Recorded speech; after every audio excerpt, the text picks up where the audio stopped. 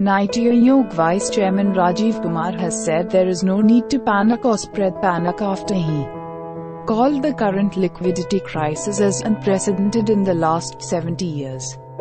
I would request the media to stop misinterpreting my statement.